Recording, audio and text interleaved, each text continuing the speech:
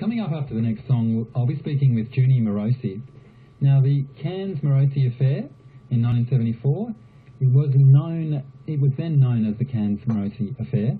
It was Australia's most infamous political sex scandal, but beyond the spectacle and hoopla was a love story, and Jim and Junie's visionary work on the origins of violence was something that uh, we'll, I'll meant to touch on in the interview with Junie.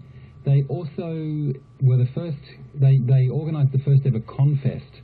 Confest is still going today, and the first one was in a picnic area outside Canberra, so we touch on that as well. Junie Morosi, it's a great pleasure to have you on Bay FM. Thanks for joining me in the Inspiration Lounge. Thank you for having me, Andy. It sounds like fun. Junie, in 1974 you were splashed across the headlines. What was your experience? Perhaps I could start with the fact that um, I was uh, I had a had a 20 year career in the airline industry and was the first female uh, manager or executive in that industry in Australia.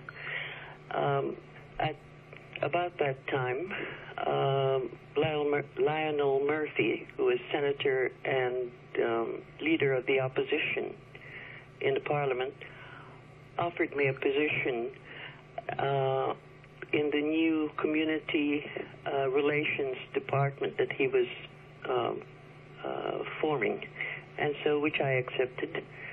And I came to Canberra. Three months into being in Canberra, I got offered a position with Jim Cairns, who was then Deputy Prime Minister and Treasurer uh, of Australia, which I accepted. The position he offered me was um, to assist him with research into the development of a um, project into finding out what the origins of violence and love were in order to um, try to facilitate a more compassionate society. What an amazing and inspiring role to have. Oh, it was it was so exciting. I couldn't I couldn't resist it. I mean, uh, I had to take a cut in salary to go and work for him. However, as it turned out, um, it wasn't. A, I was not a very popular uh, choice for him, and it created a scandal um, that took epic proportions. Hmm? Now, Jill, your publicist's blurb that I read on air a minute ago said that you are a hot Asian chick. Now, there's certainly room for spice in this particular context. Is that one of the reasons that your selection for the position was not popular? Yes, I would say that the reason was several. One, there's never been a um, uh, female in the position of principal private secretary in the parliament, so I'm Asian, and there are no other Asians in parliament either. What So- country are you from originally, Junie? I was born in China, but I'm Eurasian, and so my my father was Italian French, my mother Portuguese Chinese. And so where to from there? Obviously, there was a, a romance blossomed. It hit the headlines. I think the words you used earlier uh, would have been how a lot of Australians would have perceived me. Uh, however, I perceived myself to be highly professional in whatever I was doing, and, and um, it was uh, uh, pretty difficult when you know when Jim said that if I had been short, fat, and ugly and wore glasses, there would have been no scandal at all. So I guess um, it was pretty shocking to people to see me in Parliament. And what was the outcome after all that blew over and you continued your life? There was a, a range of things that you did. You, you started the first ever Confest with Yes. Jim. Tell us a bit more about the journey from there. Well, it really had a lot to do with Jim Cairns because, um, as you probably know, historically it was a very short government.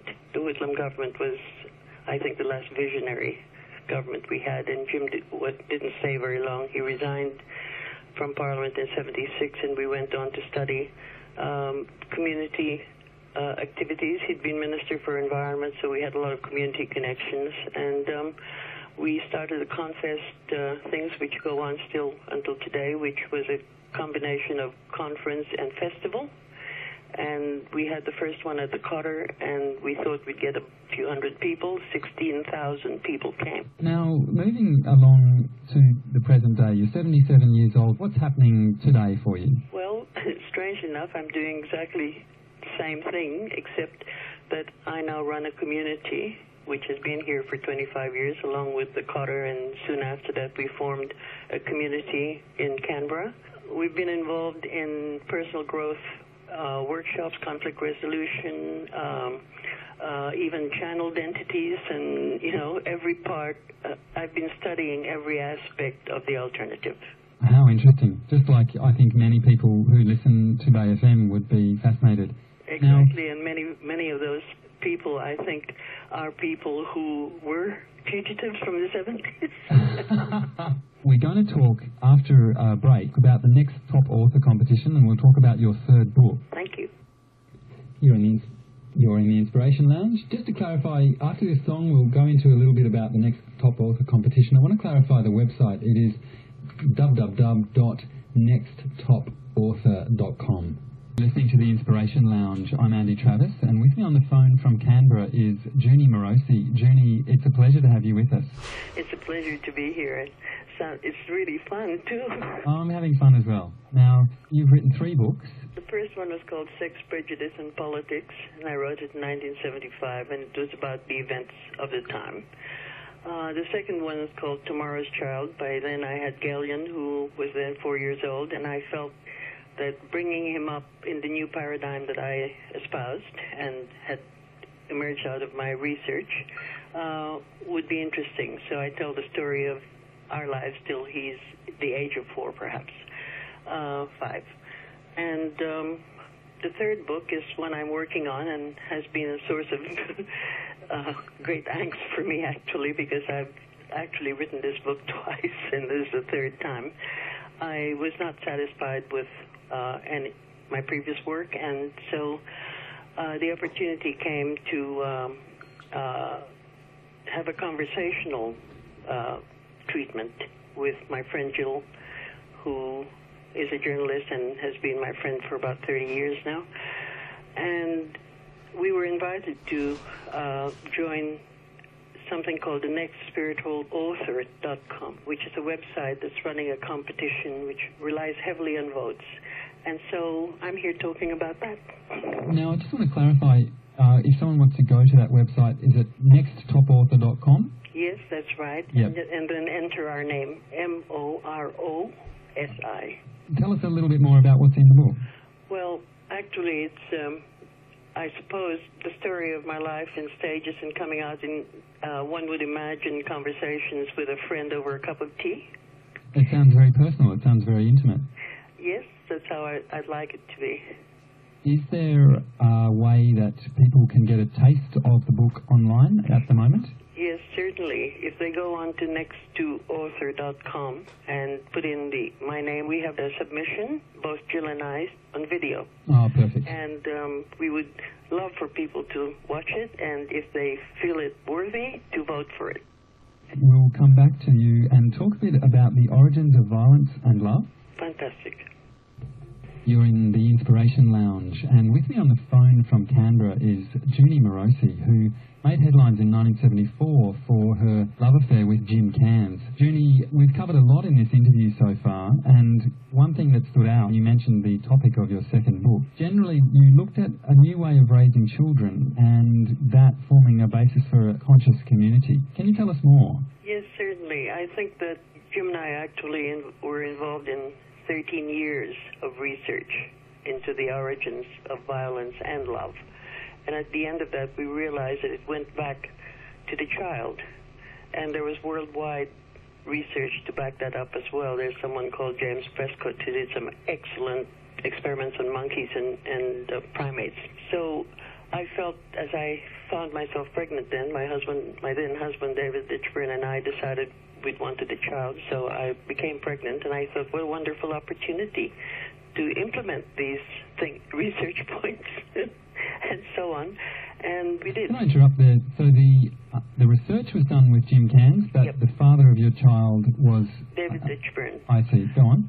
Um, Jim and I had a, a relationship that was based on a common passion, and that was, as I said to you, the uh, evolution of our society into a more enabling and compassionate society.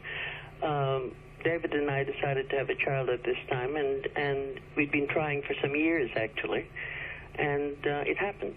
so it was just ready made for me, and so I thought, fantastic way. We started. Uh, my child needed a uh, an extended family. I grew up in an extended family, so I knew what community was, and um, so uh, we formed a community, and we had uh, a great um, uh, situation here in Canberra where we had uh, 30, 35 people, and uh, half of which are children, and it was a wonderful time.